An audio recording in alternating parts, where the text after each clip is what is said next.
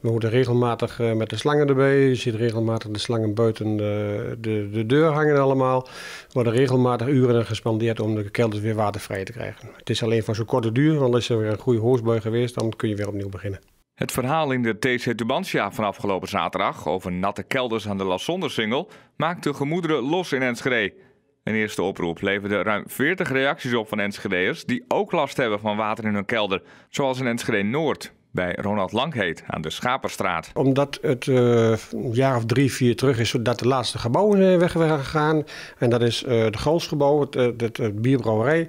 En er zijn vrij grote textielindustries hier geweest. Uh, die zijn allemaal opgedoekt, zijn er niet meer helaas.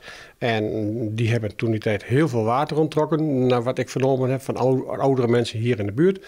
En dat is dus niet meer van toepassing. Dus neem ik aan dat uh, daardoor toch de grote hoofdzaak is dat het waterstand nu nog steeds hoog is en steeds hoger wordt eigenlijk.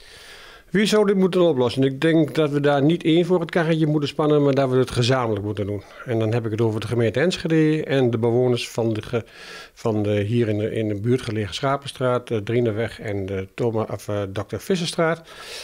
En ik denk dat hier verder in de buurt ook nog wel eens links en rechts wat gebeurt. Maar goed, daar kan ik niet over oordelen. Ik denk dat we de koppen bij elkaar moeten steken. En dat je misschien van een voorbeeld te noemen. Hier is dan de Drieneweg, Schapenstraat en de Visserstraat. Dat je daar misschien eens een keer uh, de koppen bij elkaar gaat steken. En zegt van nou, we vormen een soort commissie.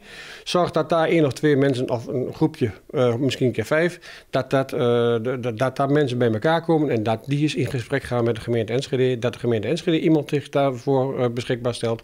En dat je eens een keer rondom tafel gaat gaat zitten met misschien om een oplossing te vinden.